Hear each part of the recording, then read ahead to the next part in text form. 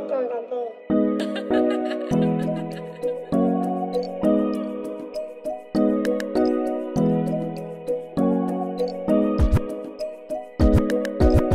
what's going on guys? Welcome back to a brand new video. So today, we're gonna talk about the Obsidian ones. It's basically, as you can tell by the title, it's gonna be a recap video from four months ago when I dropped my first video. I put this video up just to kind of recap it and then stash them away in the unit and never talk about them again pretty much before I stash them away for good. I'm gonna be giving away one pair, rules for the giveaway, like this video, follow my Instagram at Sneaker Invest, and then just comment your size and when you're done.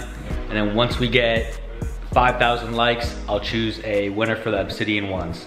Right here, essentially is roughly $25,000 profit. If you guys remember from the first video, I said I picked up all my grade school sizes for 180 and I had 30 of them and then the rest of them were men's. For the grade school sizes, I've already sold 14 of them in the last month for 500 each. If you do the math for selling them for 500 each, only paying 180, that gives me a profit of $320 per pair and then you multiply that by 14, that's 4,480 just for grade school sizes right here. They were all different. Some of them were seven, some of them were five and a halves. One of them was like six and a half. They're all just different sizes.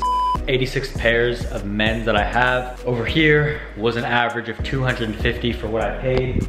If you guys remember, I got size seven and a half to nine and a half for 290. I got like a huge bulk deal. And then the other half, I was paying 200 early, early on. That was for like the bigger sizes, not the seven and a half to nine and a half. That was already in the 10 to like 12, 12 and a half range. That basically averages out to 250 per pair. Now they basically go for $500. Um, I can easily, easily clear 500 for every single men's size. I know StockX is a bit cheaper, but I don't sell on StockX. Uh, you can easily charge a ton more elsewhere.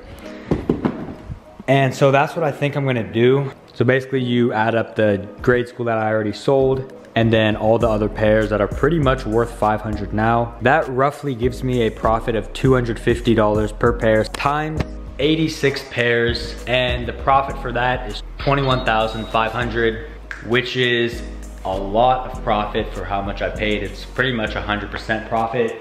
You add that with the other 4,000 that I already sold. So in total, the 100 pairs is essentially $25,000 in profit.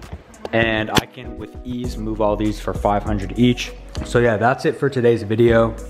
Thank you so much for watching. If you enjoyed it, it was pretty short, I know. I didn't want to make it too long. It was just a recap. Please give it a big thumbs up. Make sure to join the giveaway. Follow me on Instagram at Sneaker Invest. If you want to get my book right here, it's half off at sneakerinvest.com. It basically teaches you how to do quick flips, not hold. So go and get that if you want. And thank you for watching. Peace.